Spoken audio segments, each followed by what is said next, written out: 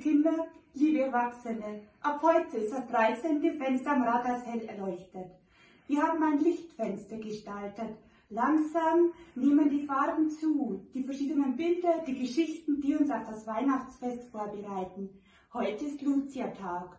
Lucia war eine Lichtbringerin, eine Hoffnungsträgerin. Lucia stammt aus Sizilien. In Sizilien waren die Menschen arm, die Christen wurden verfolgt.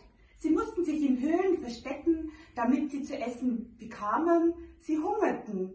Lucia sah ihre Not. Sie war eine mutige Frau. Sie ging nachts hinaus in die Wälder, damit sie die Hände frei hatte zu tragen, hatte sie einen Kranz mit Kerzen auf dem Kopf. Sie half, sie sah Not. Ihr Vorbild war Jesus. Jesus war für die Armen und Kranken, für die Ausgestoßenen da. So wollte auch sie handeln. Mit dem Lichterkranz war sie eine Hoffnungsbotin, eine Hoffnungsbotin in dunklen Zeiten. Wollen auch wir Hoffnungsboten werden, jetzt im Advent, füreinander da sein, füreinander einstehen, Licht bringen in dunklen Zeiten. In Schweden wird heute an diesem Tag, dieser Tag, der Lucia-Tag, ganz besonders gefeiert. Es wird an sie gedacht.